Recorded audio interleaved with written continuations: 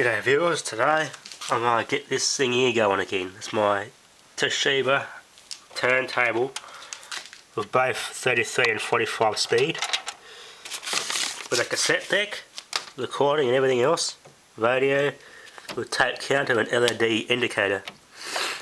It's got a treble, bass, balance, everything adjustments, even got a microphone.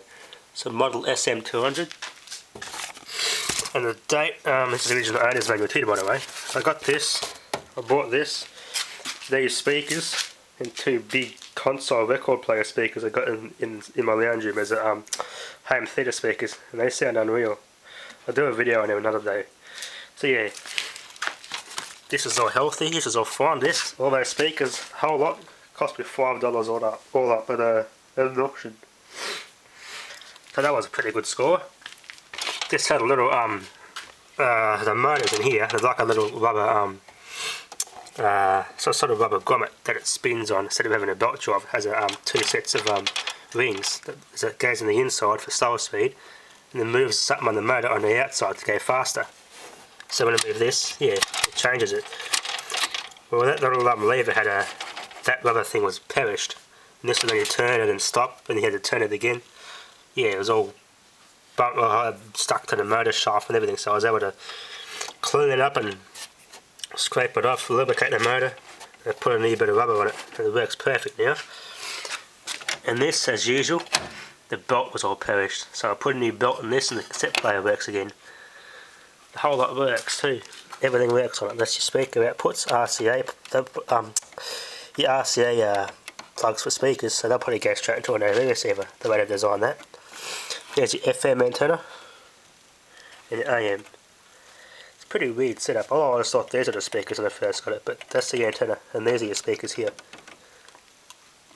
I think it's a 1984 model. Pretty sure. Early to mid 80s anyway. There's no date in here. Yeah, the original speakers, I don't know where the hell they went, so that would have been good if I got them. Yeah. You can still get stylus for these and everything. The only thing I don't have are the speakers. Whoops.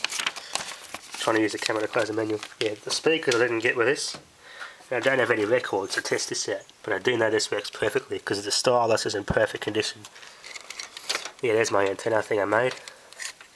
It's just all tucked away. I'm supposed to plug into the wall antenna up there. Speaker wise, I'll set them up later on. I'll get it going. Power cord. And yeah, spare RCA plug. Came one of these little things here. Not quite sure what they do, but I did know what they were for, I forgot. And the crystal earpiece. It all works really well. So yeah, and I'll set that up and I'll show you.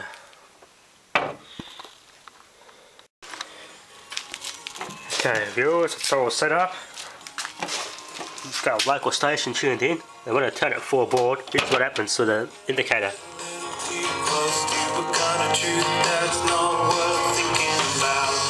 That's pretty cool.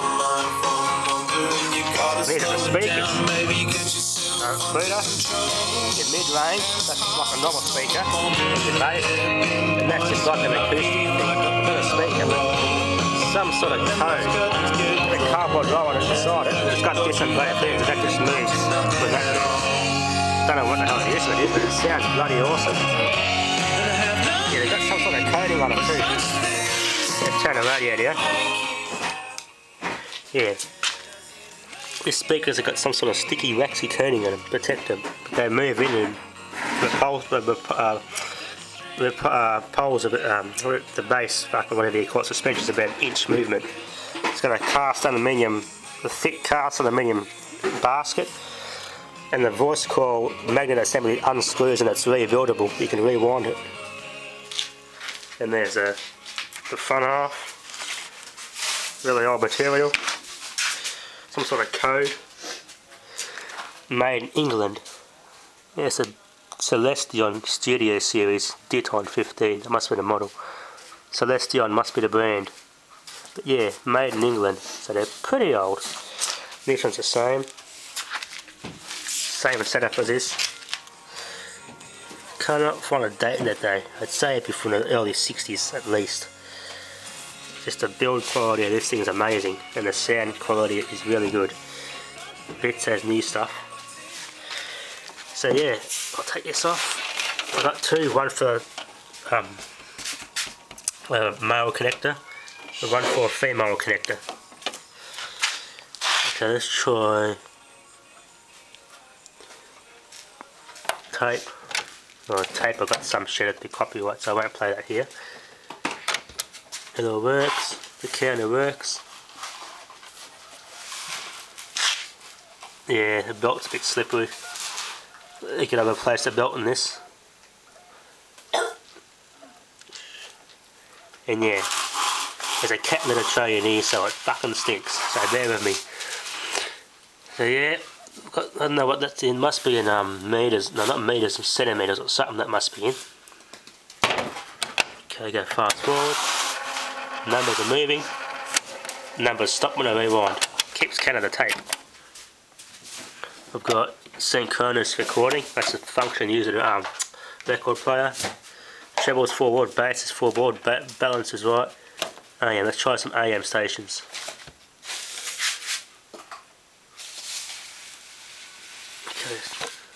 Haven't even got an AM antenna plugged in so I'm not going to get anything. Oh, this is a TV, whoops, nearly fell over the bed. It's a TV antenna input here.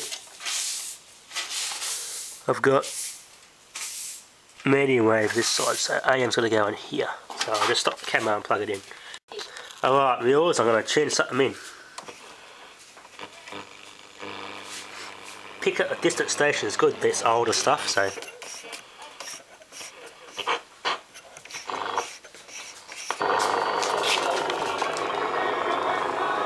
Don't know what station that is, but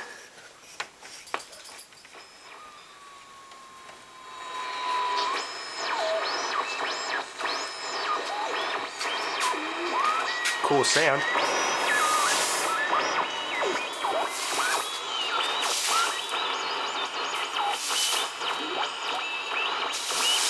Yeah, someone's behind me sweeping up the cat litter, so I better be careful where I step. Anyway, I'll tune something else. Oops, that's loud. The, I think the There you go. rewind, the way we Beat that's good. Australia is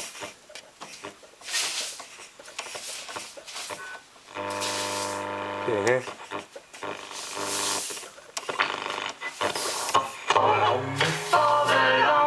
I'm bad boy. There you go. That works quite well with a very accurately with the volume control, so good score when I got this. Do use this thing time to time, but I haven't used it lately because I got my little um, car head unit one I made up. But if I get some records somewhere along the line, I'll be definitely using this. What else do I got? Now look at the back. Get some light onto it. That screw there has been broken off, unfortunately. That's the only thing that's wrong with it. That screw was broken off. Yeah, two spare plugs, as I said. Just move this. Of back plate. There's the old Toshiba logo there. Made in Japan. Yeah. Cord, cord's all neatly folds up under here. Charlotte, stop meowing. Yeah, it all tucks up under there, nice and discreetly with the wiring. It's a nice design. So yeah. And this thing here has a, um, that pinch roller in there. Has a heavy duty steel flywheel on it. These other ones are really good quality. So yeah. That all works, headphones work, microphone works as I said Hey, everything works on this, so yeah, its age it's doing pretty well, so well, and these are doing pretty well for their age too. Nice sounding speakers, so thanks for watching.